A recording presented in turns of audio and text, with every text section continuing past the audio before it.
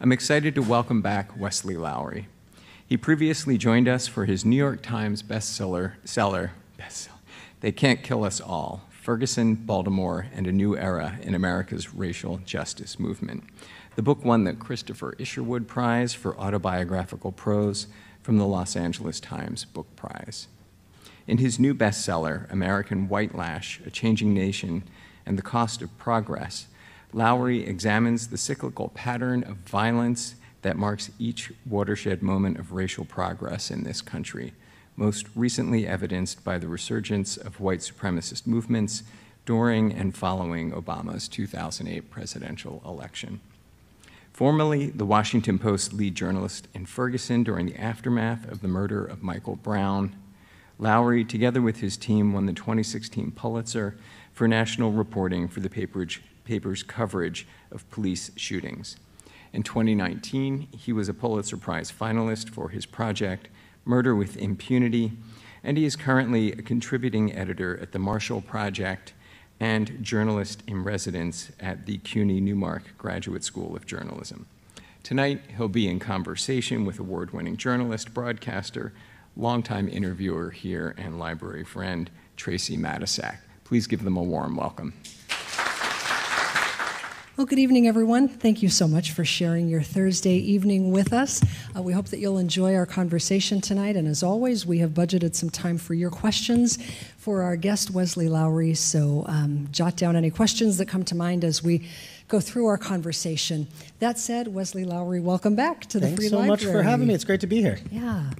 So the book is called American Whitelash A Changing Nation and the Cost of progress. And Wesley, you begin the book on the evening of November 4th, 2008, when Barack Obama was elected the first black president of the United States. And there was for so many Americans such a sense of elation and this feeling that this was a real step in the direction of racial progress. And yet, for other Americans, um, it was a kind of a last straw, if you will, and it was the catalyst for what you and Van Jones on CNN have termed white lash. And so I'd like to start there. Of course, that ultimately led to the rise of Donald Trump and the emboldening of white supremacists across the country. Um, can you start off by explaining what kind of dynamics were going on around the time of Obama's election? That led us to where we are. Certainly. Well, first of all, it's great to be here uh, and great to see you all, um, and looking forward to chatting a bit and getting some of your questions as well. You know, when we think about that moment, it's really interesting to think back and even to watch the news coverage of the night Barack Obama was elected. You can find it all on YouTube. And you watch it, and it's like taking yourself back to a world that is very foreign to the world we live in today. Everyone was happy. There was all this excitement. It's like, has America beaten racism? Who knows? Right? You know, like the headlines were kind of like crazy and deranged. Like now, now retrospectively, we're like, wait, what? Uh, that's what we thought had happened. And and there was so much, you know, even though it's not that long ago, so much that has changed. We were at the time, you know, in two unpopular foreign wars. We had taken very little action uh, towards climate change, and there was a lot of frustration on the political left around those issues. We were in the midst of an economic downturn um, and deep economic instability across the country, and and we had been seeing a rise in immigration and debates around immigration becoming one of the most salient domestic political issues, and so in the midst of all of this, we elect a black guy with a funny name um, to become the president of the United States of America. And we pretty naively think, well, perhaps this has solved the, all of American history, and we are now going to be this great united multiracial democracy. Um, and instead, what we see very quickly is the rise and the codification of a nativist political movement in our politics.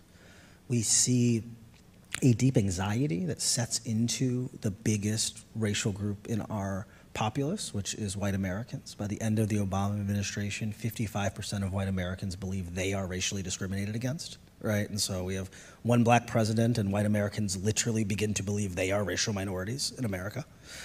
Um, we see a it's a funnel, right? So that's your majority of white Americans now believe they're racial minorities. A smaller subsection of them join an openly nativist political movement that questions the citizenship of the president and his and where he's from that uh, becomes remarkably aggressive around issues of immigration, trade, refugees, vows to construct a moat around the country so brown people can't come in and to stop all Muslims from coming. They elect the leader of their movement, become the president of the United States of America, um, and elect members of this movement into Congress and state houses across the country, um, ultimately replacing the black president with an openly nativist president. And as all of this is happening, we have even further down the funnel an explicitly avowed white supremacist movement that has always been present and has always been here in America, that is watching now as the white population of America becomes increasingly radicalized, increasingly anxious, increasingly concerned about issues of immigration and who really belongs here and if the country has changed in ways that it can never be changed back. And that movement smiles because it knows that this is going to create a fertile recruiting ground uh, for, for what they want to see. And so what we see over these years is a rise in the amount of violence committed by white supremacists and white supremacist groups. We see, um, according to our FBI director and DHS directors, you know, white supremacist terror becoming the singular most active threat to American lives in the United States of America, not um, Islamic terrorism, which had been the preoccupation and the obsession since 9 11, right? And we see time and time again individual, disaffected white Americans who, due to the coarseness of our mainstream political rhetoric, political rhetoric find themselves down into these dark spaces where they're proselytized to, converted, and ultimately commit acts that take people's lives. And some of those acts were committed, Wesley, as you write, within hours of Obama's election. I start the book with the death of Marcelo Lucero, who is an Ecuadorian immigrant who lives in Long Island and is murdered days after Barack Obama is elected. And one of the reasons I do that specifically is to show and to talk about how we can't divide history into these clean buckets in this way, right? That someone who's murdered within two or three days of Barack Obama's election, we can't say, okay, well, this is a causation. That this is speaking to dynamics that were already playing out. That Marcelo Lucero lived in a place where immigrants were already being demagogued, where local political leaders had been using them as scapegoats, and where the rhetoric had become so dangerous and so dehumanizing that high school students would go out on the weekends seeking immigrants to attack. And that is how Marcelo Lucero gets killed, is a group of high school students spending their Friday night driving around town looking for immigrants to beat up. And so Marcelo is killed just days after Barack Obama is elected, right? And so it speaks to uh, this idea of this was where we were starting on day one of a black presidency, a world where the, the rhetoric around immigration in this country was so vitriolic that we had people being attacked by mobs of, of white kids in the streets. And then we inaugurated a black president. And, and so we think about, and so I think we have to understand that, uh, that idea of when we look at the, the election of Barack Obama, I think, and this is not in any way question the depth and historical importance of that moment, right? But I think we make a mistake to think of it as the ushering in of something new as opposed to the continuation of something that was already happening. Yeah, and speaking of that, um, you do talk about how certainly the concept of backlash against racial progress is nothing new. We have seen it throughout our history in this country. And you talk about how the second iteration of the Klan in the 1920s, you write about how they bear a striking resemblance in ideology to today's MAGA movement. Talk about that if you would. Certainly, and I think that it's something that we, I think if we were better versed in our history, we would feel much more comfortable sitting with and grappling with these realities, right? We have been in this moment before.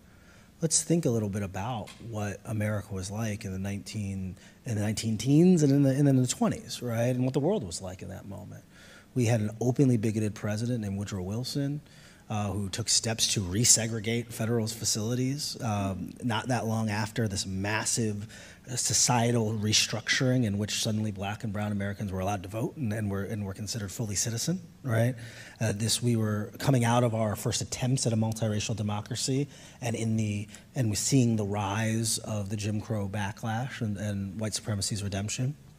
We are in a time where there's foundational, fundamental shifts in the economy and in the topography of the country. For the first time in American history, more people live in cities than live in rural environments, where we have urbanization, we have the rise of jazz music and birth control, right? Technological advances is what we'd call birth control back then, right? But the idea that suddenly uh, women could have sex, right, and, and not and not be concerned about becoming pregnant, right? So there was a liberation, and so what we're seeing now is a different conversation about roles of gender and race and, and, and how those things show up. There's these cultural innovations. Suddenly people are dancing to jazz music, which seems kind of similar to suddenly The Little Mermaid being black, right? Like we have all these mm-hmm. things that are happening.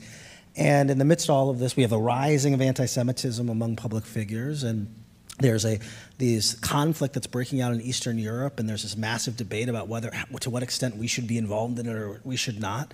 Um, and the country is seeing demographic change being driven by immigration. And so, what happens in that moment? We see the rise of, oh, and by the way, technology and mass media allows for a racist indoctrination. That there is a play that becomes a movie, a silent film, and civil rights leaders said, if we allow this to be shown in theaters, it's going to lead to violence. And the director of it, D.W. Griffith, said they're trying to cancel me and censor me.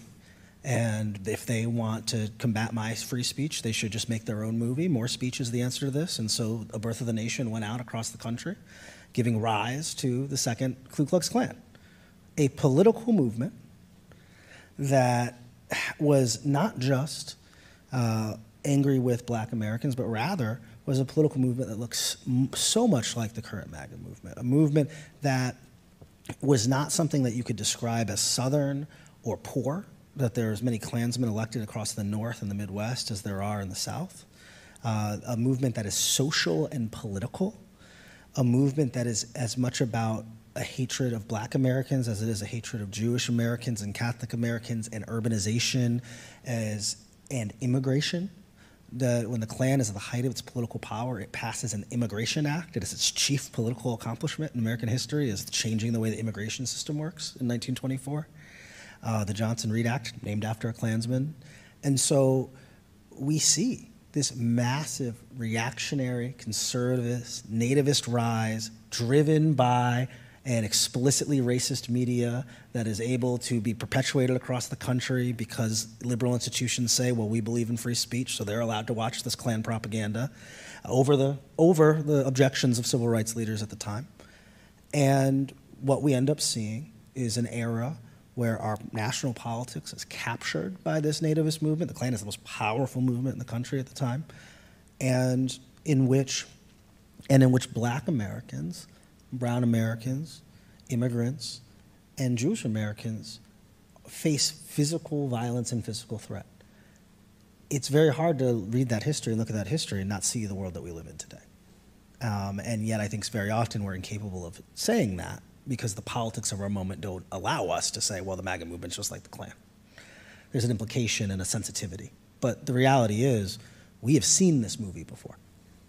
I want to talk about anti Semitism. You mentioned that just a moment ago, and of course, there have been any number of mm-hmm. examples of that. But I'd like to zero in on the case of Glenn Miller, mm. um, who, as you wrote, and I'm quoting you here, committed one of the deadliest anti Semitic attacks in U.S. history without killing a single Jew. Remind us of who he was and what animated him to commit these crimes. Yeah, my small amount of humor and something so miserable that this is this man's entire life mission and he even failed at that right? That he had shot up a jewish community center and a retirement home in kansas city kansas and, and frankly only happened to kill non-jewish people who were there that day right? Um, and so it was horrible and also well, there you go glenn. Uh, this was a man who his own personal history had traced in a lot of ways the modern history of american white supremacy. This is someone who became radicalized by receiving a white supremacist tract from his father, the Thunderbolt newspaper and magazine, which is the way that a lot of the recruitment happened back in the 50s, 60s, and 70s, who sought out initially Klan groups, then later joined militia groups and neo Nazi groups.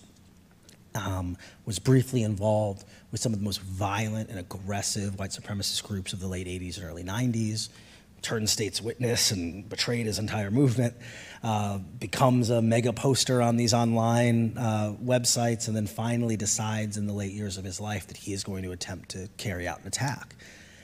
What was interesting is I think that when we look at that case, we see a few things that are true.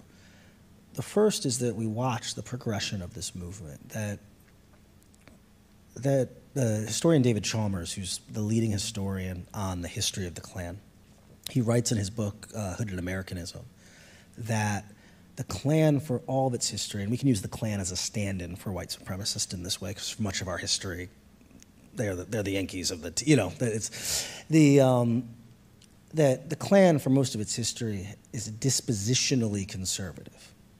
They were defenders of a white supremacist society that already existed they were attempting to conserve things and keep them the way they are. They were, they were a reaction to attempts at progress, right? But they didn't actually believe there needed to be a fundamental change to society.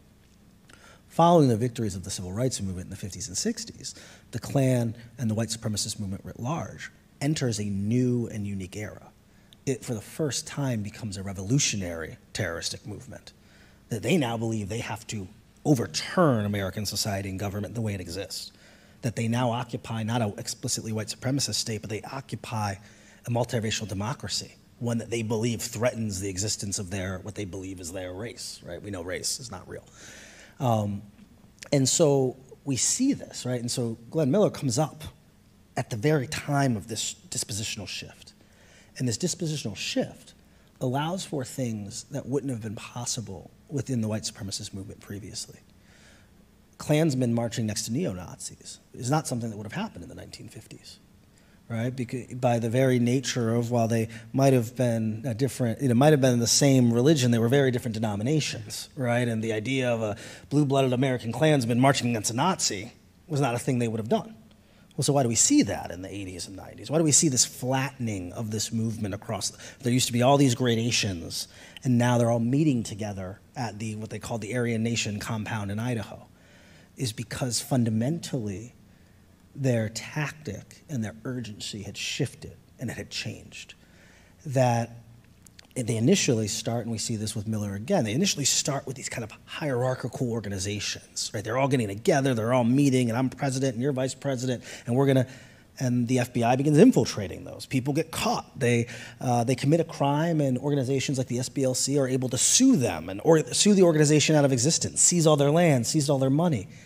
And so in the late 80s, they develop this and they write in this track a tactic of what they call leaderless resistance, where their goal, the explicit stated tactic of the white supremacist movement in America, is not to build these hierarchical structures, but rather to use our mainstream politics and current events to poison the minds of white Americans and so that those white Americans will be susceptible to their proselytization and to their propaganda, and that those Americans will know what to do.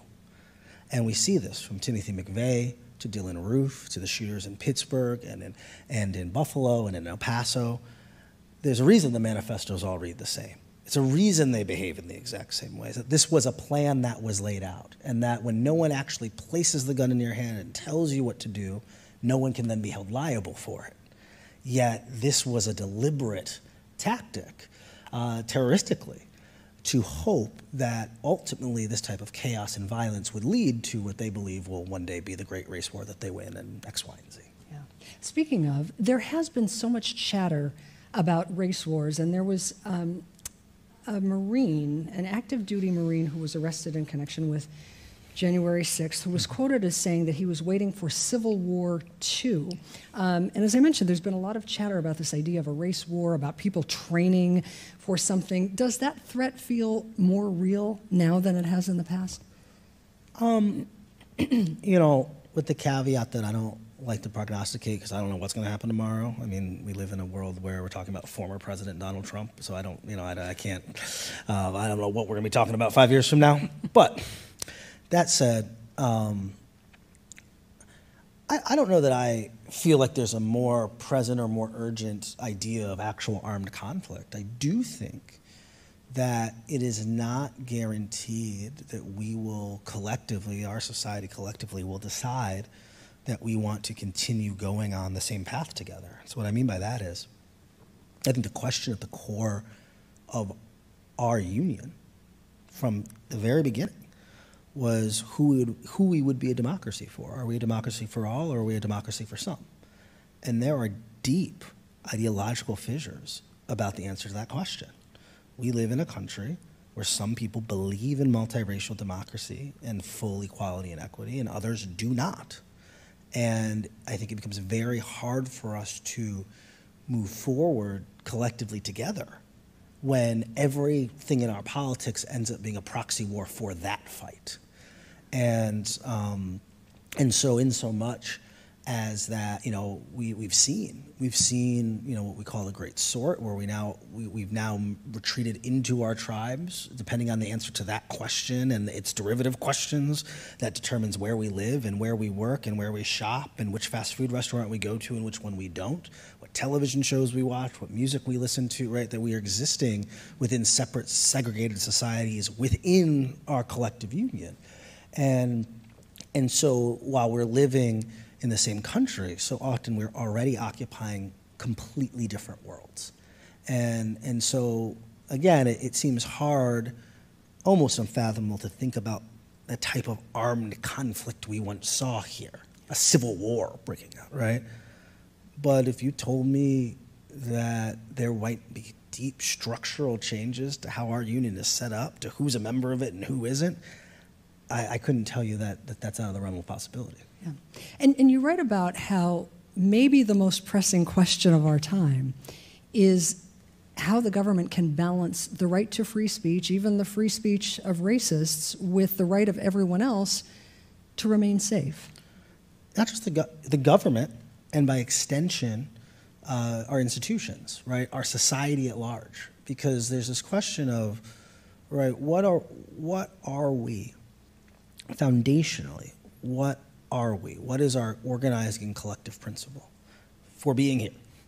And there's an argument that the, you know, so at our founding, the easy answer to that would have been that we believed in, in speech, in this individualized liberty, this, this ability to, I worship how I want to worship, I do what I want to do, and you have to stay away from me.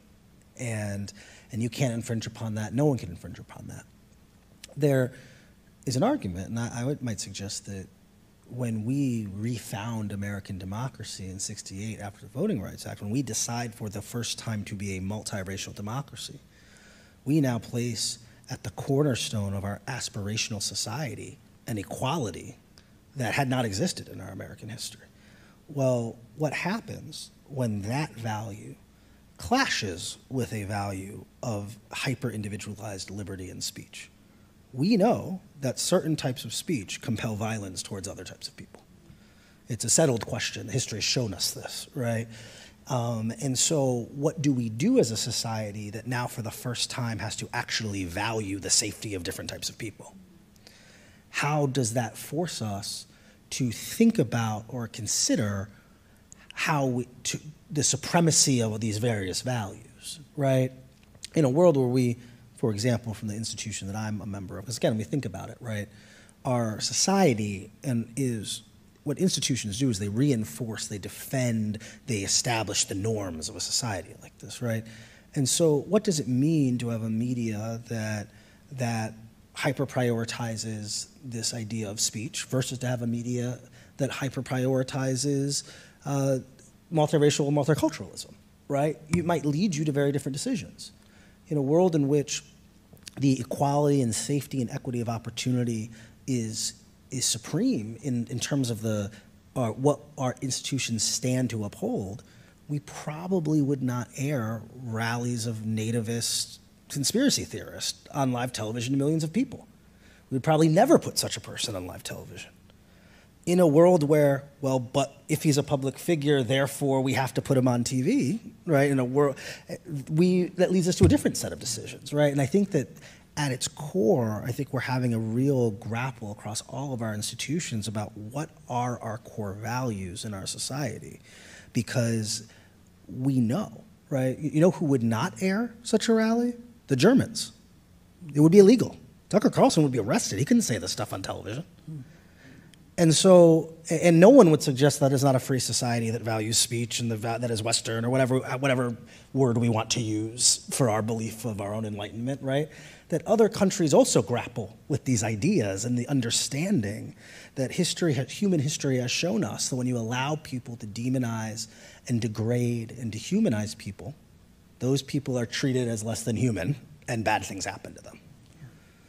You mentioned a moment ago, and you, you write at length about how our government, government was late to the party as it mm-hmm. relates to keeping an eye on domestic terrorists because there was so much attention focused on Islamic terrorism, for mm-hmm. example, after 9 11.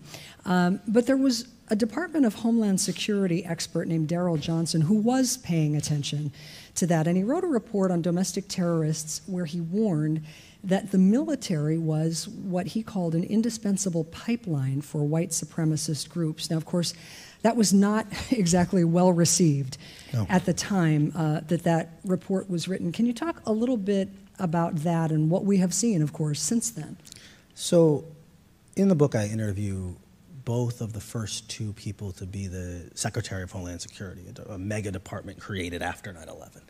And both of them acknowledged that their mandates at the time, while they would have included, theoretically, domestic terror and white supremacist groups, their job was to prevent another 9 11 that their resources, that their focus, that their efforts were on international Islamic terrorism and disrupting it.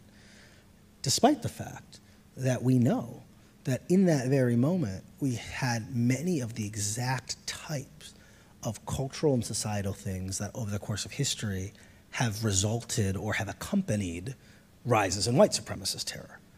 Again, we're talking about the early 2000s, a time when we, if we were not in the midst of an economic crisis, had just emerged from one, right? There's almost no point in that, in that era in which we were not deeply thrashing economically.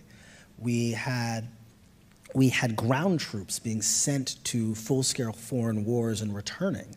Uh, the researcher Kathleen Belew writes in Bringing the War Home that that recruitment for white supremacist groups almost always increases and does better when you have returning soldiers because you very often have um, relatively uneducated, conservative law enforcement ideologues with connections to conservative media, very often who are dealing with the unseen wounds uh, and traumas of war, who are returning, feeling mistreated, feeling thrown off and often find themselves being recruited into these spaces aggressively. These groups do this on purpose, right? If you want to start a race war, you would start with all the guys who know how the guns work, right?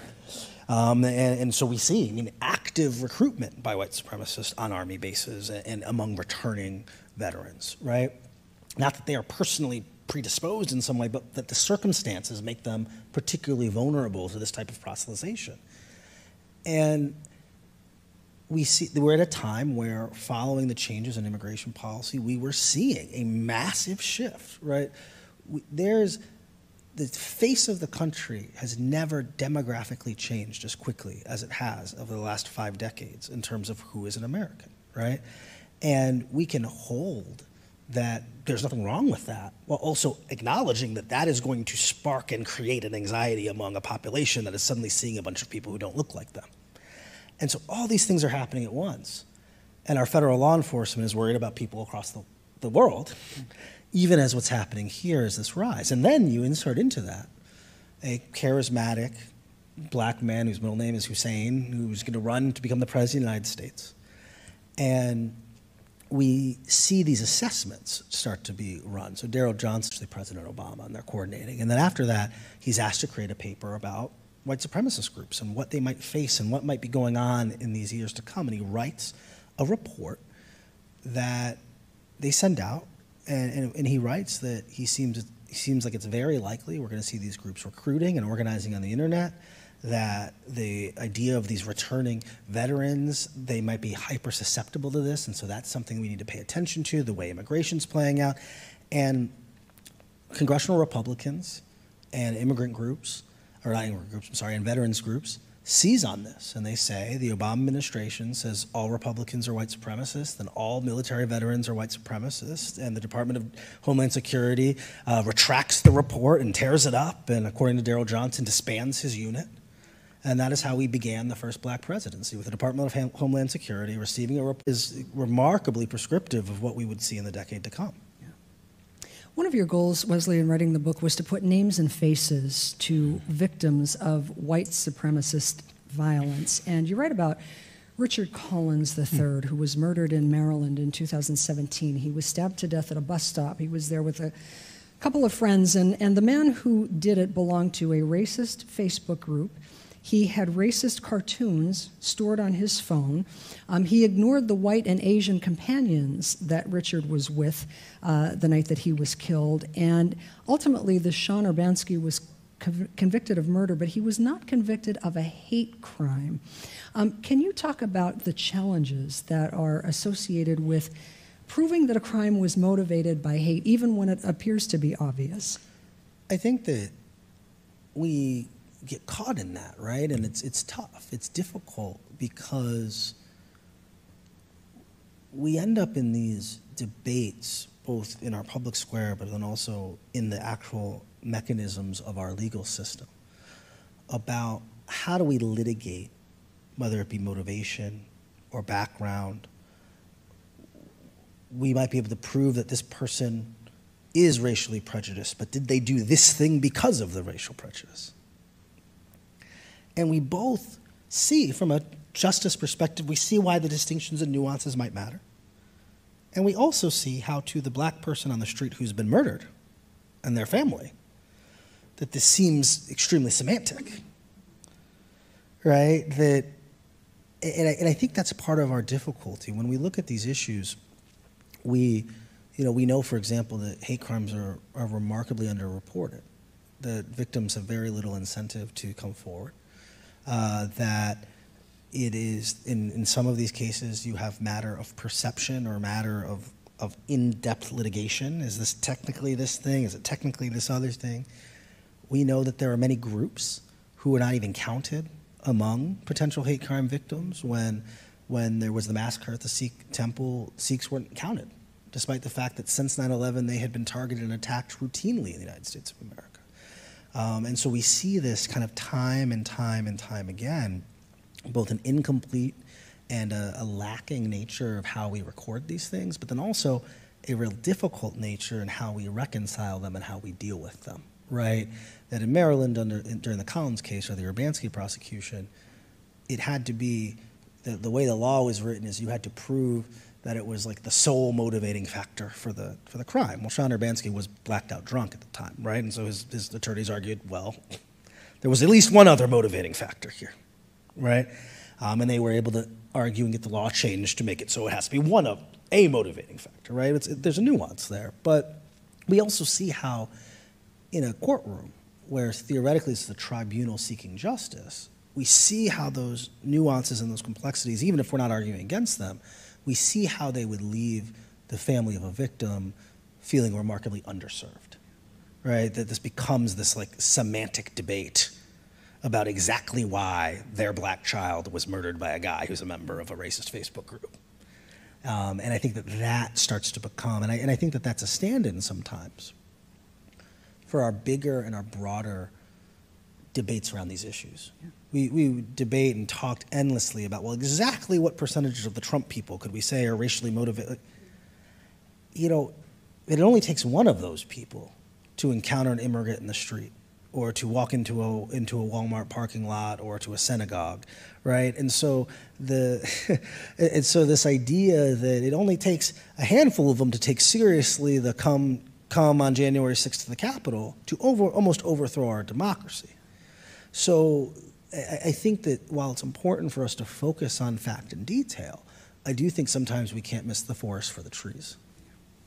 So, even as these supremacist groups have become more emboldened in recent years, um, a lot of activists have risen mm-hmm. up as well. And I'd like for you to talk a little bit about that, about what resistance looks like at this point and what the call to action is for people who are paying attention to all this, who care deeply about this, and want to be part of the solution. You know, I think that one thing I think about, and I write this in the book, is that I think about our history as a tug of war, where a country is founded uh, legally as a white supremacist country, right? In, in, that we write into our laws this idea of race, and that being of a white race will cede you a certain set of rights, and if you are of the other race, you, you don't have those, right? We create it. And, and um, in response to that, we, we see activism and revolution to push for multiculturalism, multicultural equality, and a multiracial democracy. We see this in slave revolts, we see this in the abolitionist movement, we see this in the civil rights movement, we see this in the current anti-racist movement. And, but I think that what we forget is that it's a tug of war. I think we've all been seduced by Hollywood that we think like, okay, and then everything's bad for the first 20 minutes, and then minute 22, the great the, the activists come in, they fix it. Martin Luther King marches over the bridge. We play that John Legend song, and then like in, by minute 29, racism's fixed. Roll credits, right? and we forget what happens in in like minute 31 after the credits, which is they murder everyone and take it all back. It was actually literally what happened to all those people on the bridge. Like a lot of them actually got murdered. You know, like, like I mean, literally, I don't even mean that glibly, right? That this fight is a tug of war. That when you pull in one direction, the other direction pulls back.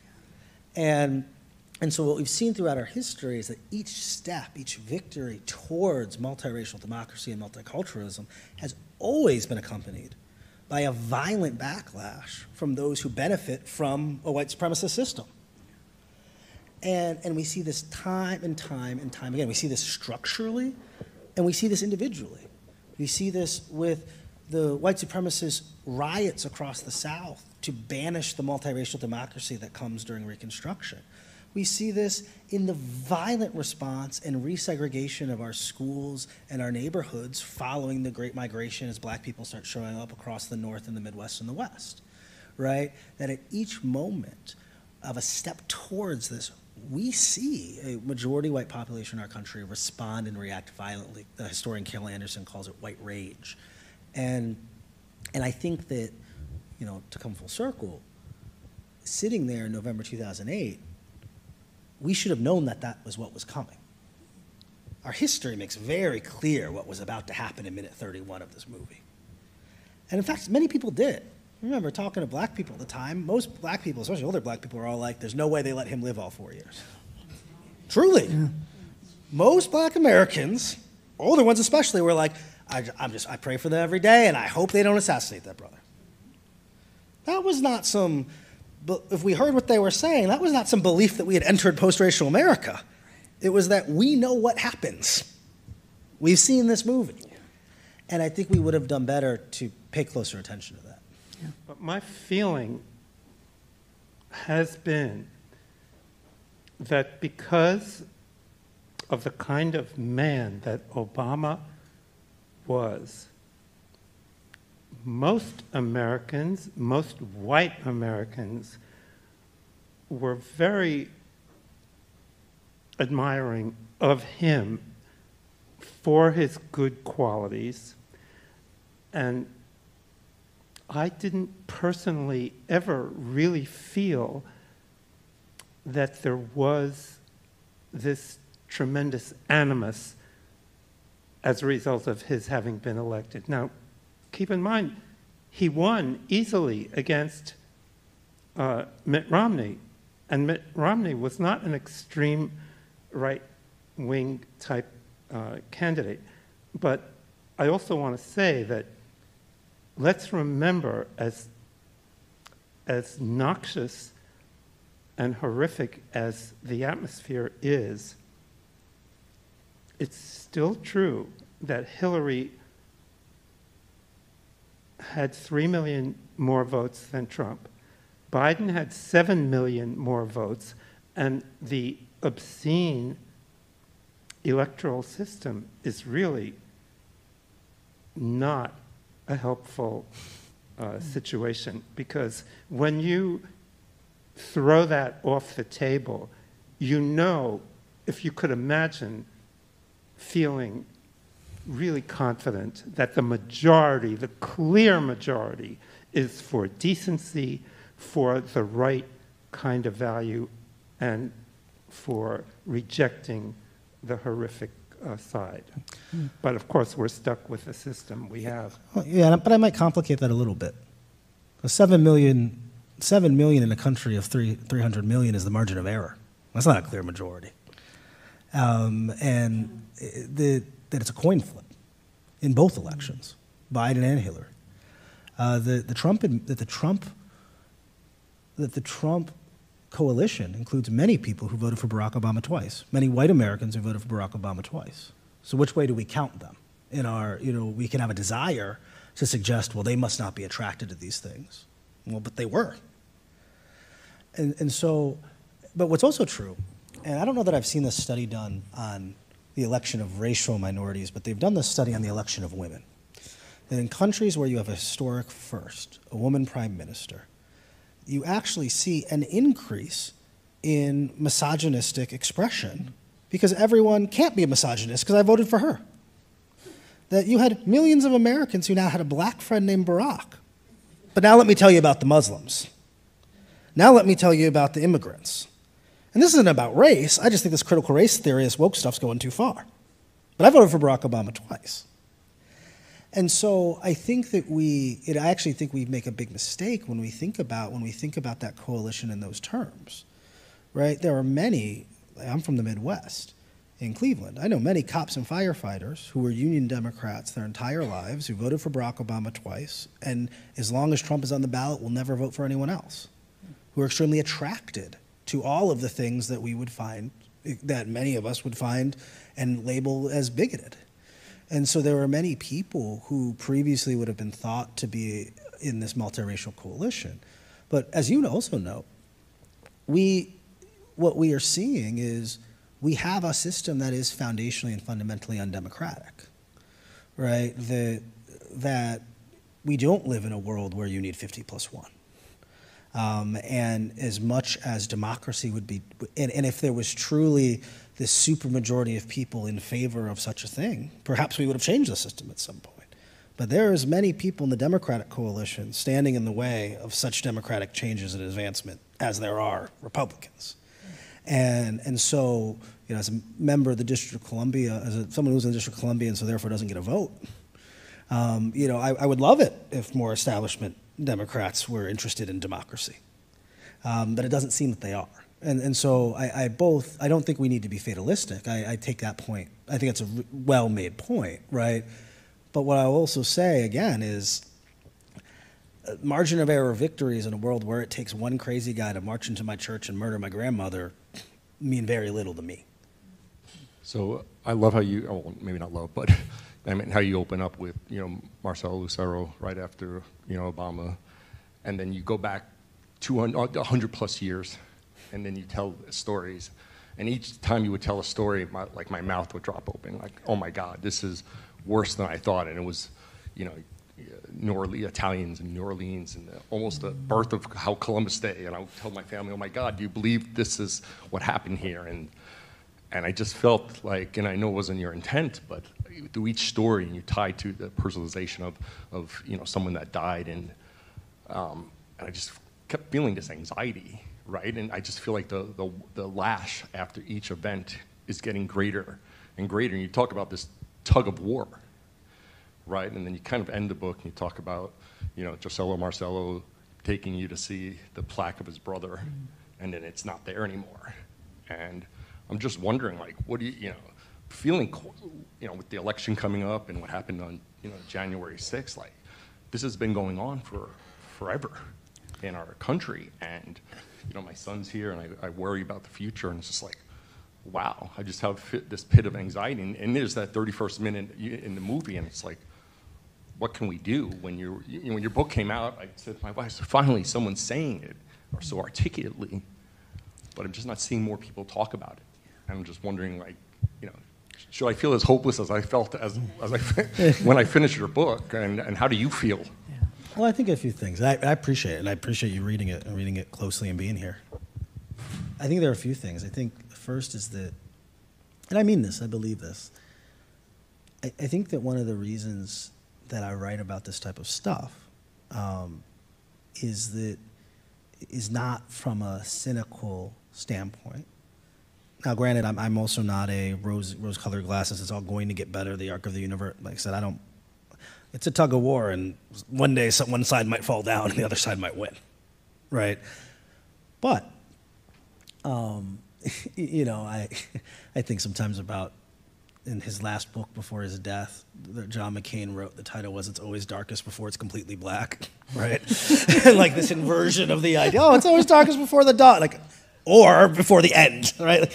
And, and which, which she writes in the context of the Donald Trump takeover of the Republican Party. He chose in his final message to all of us, like, hey guys, wake up. But what I will say is that throughout our history, um, that these moments and these acts almost always spark and give way to tugs in the other direction in so much as we think about this violence as a response to what we believe is progress and our hope, right? And that it leads to this. Well, then the rope is pulled in the other direction as well.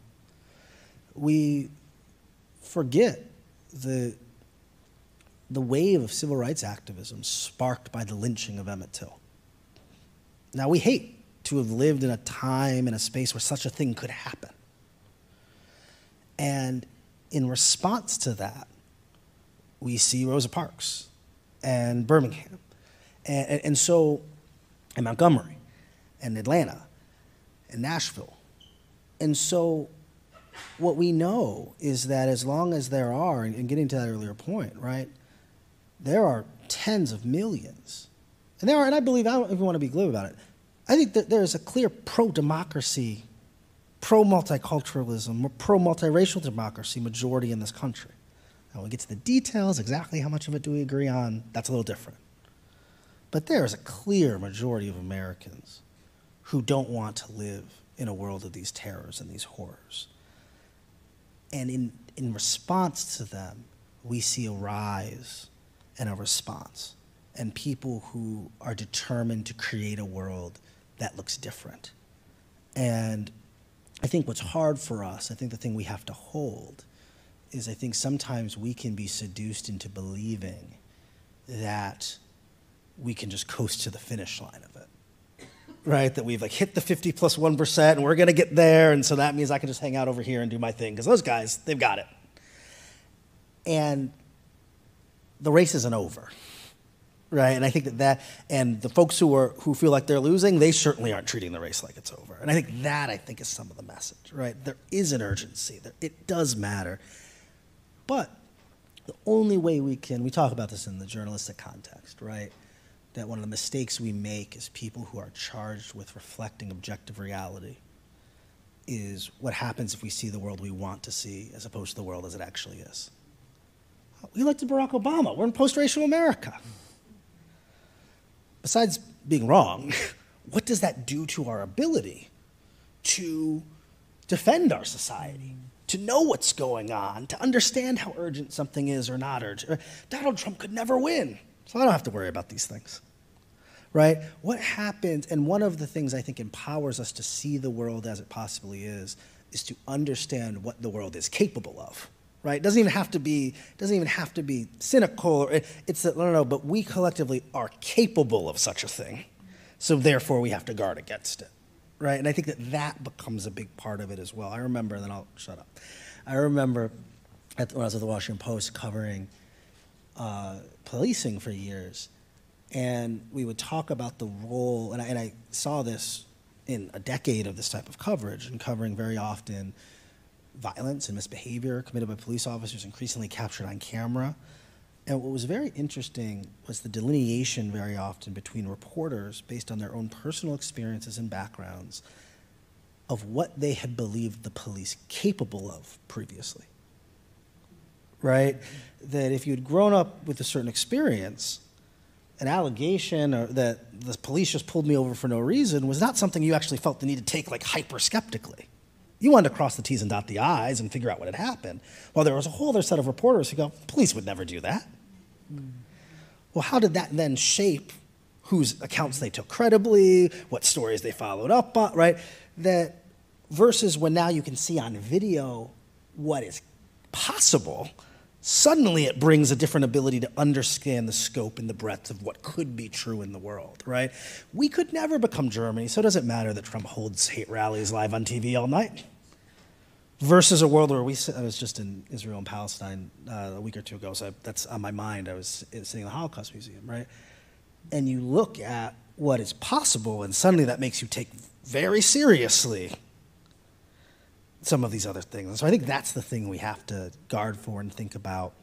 And like I said, for me, I always look at, I take a lot of encouragement from the young people who are coming up behind us because they have a clarity. They see these issues with clarity and they see the things they want to be different and they want to change. And they do them. Things change, can change very rapidly in, and that is both, and I think we can take that as a challenge to make sure that that rapidness moves in the way we want it to. Thank you for your talk. My question is really simple. Um, how will you feel and what will you do when your book is banned in Florida? and it's, I'm not being facetious. No, I know, I know. Because what is most troublesome for, I mean, look at where we are right now. America, library, the free library. Mm. But, but I, am really concerned about Yeah. your access to young minds. You know, I think there are a few things here. Um, the more joking answer is that that'll be helpful. I'll sell some more books that way. All my all my friends are banned in places, and I feel a little left out. Like, like- but um, but I think that there is a, and I, I should have mentioned this when we were talking about the 1920s, because they also banned a bunch of anti-racist literature, quote unquote communist literature. Like all, I mean, these again, we are very oddly in a, you, know, but the idea that education has been such a battleground around these issues has deep precedent. It is unsurprising. It's deeply troubling. I, I think it says something about, again, I think it says something about what these fights are actually about. Because a lot of these are the, the free speech folks. You have to let Fox News do what it does. You have to let Trump say what he does, but we're banning all the black people's books from schools right? Like it's, um, it, so clearly it's not actually quite about that. Um, I'm encouraged that on, on two fronts. One, that there are people who are standing up and fighting these fights, whether it be PEN America and others, and there is a real lobby of people who value um, and defend. I also know that there is a, in the moment we have now, we have access, and our young people have access in ways they never did before, right? That you, you truly cannot destroy an idea, and you couldn't previously either, right? The, the, um, the Germans in Poland ban- burned all the, all the books. And in the Warsaw Ghetto, the socialists and the communists started their own underground newspapers. They were literally like a four block underground ghetto about, about to be massacred. And they started newspapers. And I came back with three books of the, of the newspapers. That we know, my friend Nikole Hannah Jones says this, we know that the reason people are so upset and so aggressive is because these ideas are finding audience. Is because they've spread. It's because they're making a difference, because young people are growing up and saying, yeah, this is the truth. That's why it's so threatening. And I take very seriously the threat of that. And also, I feel very confident, one, that we'll find a way to, to keep getting this stuff out to people because people, generations that had far fewer tools than we did, found a way. But second, that you want to hide some information from a teenager, have fun. right? Like, especially in the world we live in now where we walk around with a reference library in our, at our fingertips. We, each of us has a printing press in our hand. our information ecosystem, for better and certainly for worse, has been democratized in a way it has not ever been before. And so, because of that, I, I say this sometimes when I write or have a colleague who writes something that's a little controversial, people get mad about. Look, if you're right, history, history bears you out that way, right? And that so often as writers, certainly as journalists, my job is to write down true things. Whether they poll well, whether they make me popular, whether they, those are secondary concerns. Because if it's true, eventually that truth will be acknowledged. Um, I almost feel some of the backlash recently um, w- during the protests after George Floyd, um, because so many young people and it was multiracial, and you notice that you know after that point, um, DeSantis even puts out a rule to say, oh, it's okay to hit you know protesters Yes, you can and run things them like over. that. And so I, I feel because there were so many people across the board that protested, I think some of the backlash has to do with that as well, because they're getting to young minds, like you mentioned. Unquestionably, uh, one of the one of the examples I read about in the book is, and I and I, I tackle and write a little bit about the rise of Black Lives Matter as a movement and the rising of this kind of new anti-racist movement and these fights over equity and how those further play into how that plays into this tug of war in these directions, right? And I think it's unquestionably true, right? What could be more threatening? I, I think that I think that speaks to it. There, there are some. I have some colleagues and there are some historians who talk about. I was just talking to a longtime activist a few weeks ago, and he, and he, he describes it as like, and frankly, black activists have been describing this this way for 100 years, right? But this is like white supremacy's last stand. Like this is going to, but they're going to go down swinging, right? and all that. It's, but it speaks to this idea of no, no, we do have like a multiracial majority. Like we have, like we've got this massive movement from where it was, right? Like we we do. Ha- the average person on the street doesn't want to live in such a world. Does want a level of equality and equity. Does want, right? That the reason there's such a thrashing is because there is a desperation, because it is radical, because they are trying to stop something that is that, that is that feels to them and that feels to us very often that is inevitable. And I think the challenge for us is is remembering that it's not inevitable because they are so determined to stop it. And that this increased desperation Again, the idea, I mean, truly, what Timothy McVeigh did in the 90s was relatively unthinkable to someone of his exact same politics 20 or 30 years earlier. The idea that you would massacre children and innocent people, to, that's not what the Klan did. They didn't think black people were people, so it's, I mean, they did do that, such things, right? But it was different. There were a lot of white people in that building. There were a lot of people who he would have thought, like, but that suddenly the desperation justified a totally, to them, different level and conception of violence. And so the danger is like, that's the moment we're living in. Yeah, no, no, no, let's go overrun democracy instead of allowing this thing to happen. Right? And so, again, um, it, it speaks to how far we've moved and, and the fact that we do have a pro democracy supermajority, that we do have people who want and desperately get this, and even when we don't understand it, right? It's like, don't even tell me all the details. What's the equal one and the good one? I'll vote for that. Let's not actually get into exactly how much more I have to pay in taxes or exactly, right? We have a lot of people like that, right? Like, no, no, no. We understand there are things that aren't quite working and we want them to work. But it's, but it's that, that segment of our society and it doesn't have to be a very big one, even as I would I argue has expanded. You know, going from five percent to ten percent is big in a moment like this, especially when we're talking about people who are willing to commit acts like this. And so, um, unquestionably, I think the rise in these anti-racist movements, and not just that, movements like Occupy Wall Street and Bernie Sanders' movement, movements like Me Too, and and the advancements for women, the, the massive advancements in our LGBTQ movements, right? We live in a world today where same sex marriage is the law of the land, something that was relatively unthinkable not that long ago, Not something that was unthinkable the day Barack Obama was elected. Right? So we are seeing things, fundamental societal shifts that both speak to what's possible that we can fight for, but that also will always then prompt some of that pullback because of the anxiety it will spark too. Well, on that note, we are going to have to leave our conversation here. There's so much more that we could talk about, but please join me in thanking Wesley Lowery for a wonderful conversation and for a great book.